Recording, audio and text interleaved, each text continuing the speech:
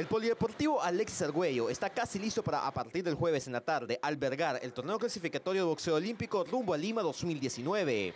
32 países de América estarán en el evento que dará 8 cupos por categoría para Lima 2019 y este martes se recibió al supervisor de AIBA, el costarricense Rafael Vega, quien dio el visto bueno para este evento. Estamos en una instalación, eh, ¿cómo lo digo?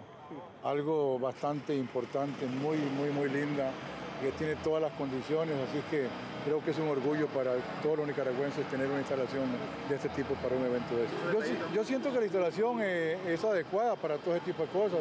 Además de eso, hay, hay todo un equipo trabajando, tanto la gente de la Federación Nicaragüense como también los, los señores del IND, Instituto del Deporte, y hay voluntad de sacar este evento bien y hasta el momento ya estamos próximos a comenzar y, creo que va a ser un éxito. No me cabe ninguna duda porque hay voluntad.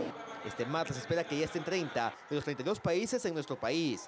Delegaciones como Cuba, Panamá y Trinidad y Tobago fueron de las primeras en arribar a Nicaragua, que para el supervisor Vega es importante que nuestro país pueda ser sede de un magno evento como este. No, no, no, para nosotros los centroamericanos es un orgullo que Nicaragua realice un evento de esto porque es un evento importante, es un evento que creo que en Centroamérica nunca hemos tenido, primera vez que se da un evento de este tipo. Yo me sentí muy feliz cuando me dijeron que Nicaragua organizaba el, clasificatorio para los Juegos Panamericanos.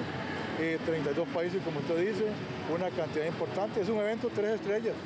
Así como hay tres estrellas en, entrenadores, hay tres estrellas en árbitros, también hay eventos tres estrellas y este es uno de ellos. Tengo entendido que, que hay un apoyo incondicional de la gente del gobierno y eso pues es muy bueno a una federación que, que también hace lo propio, que tiene también una cantidad importante de boxeadores, que, usted sabe que Nicaragua pues tiene campeones mundiales a cada rato, eh, y esto pues lógicamente que hace que el desarrollo del deporte del boxeo pues lógicamente que avance. El miércoles se realizará el congreso técnico y jueves en la mañana los pesajes oficiales de los más de 300 atletas que competirán en esta justa. Además en la tarde del jueves arrancarán los combates preliminares y en la noche la inauguración oficial del evento.